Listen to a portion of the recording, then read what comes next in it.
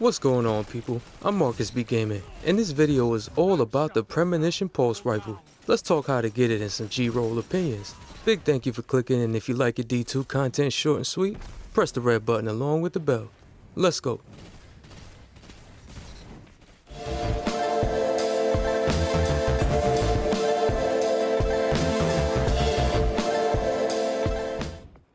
The Premonition is one of those 340 RPM high impact frame pulses, and they're more accurate when you stand still and shoot.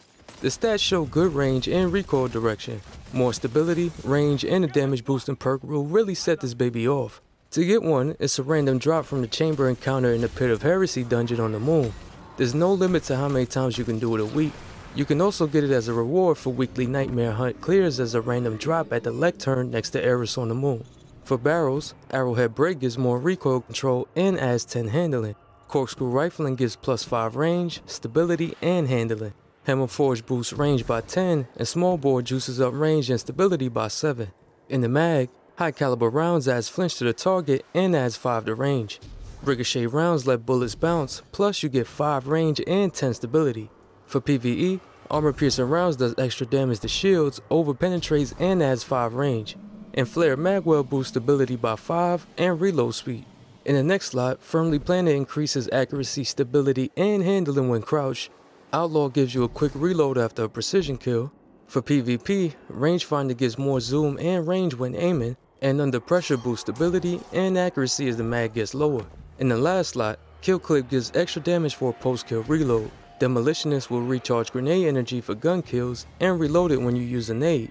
In PvE, Dragonfly makes enemies go boom for precision kills, and Headseeker adds precision damage for hitting body shots.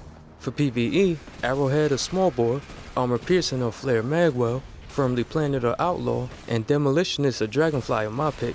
For PvP, Corkscrew or Small Bore, High Caliber or Ricochet rounds, Rangefinder or Firmly Planted, and Kill Clip or Headseeker are my go-tos. If you play this baby to its optimal range and add a little extra damage, I think you'll like what you see.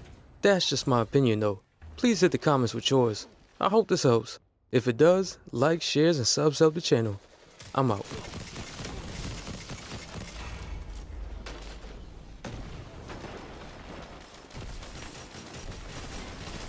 Their lead has diminished.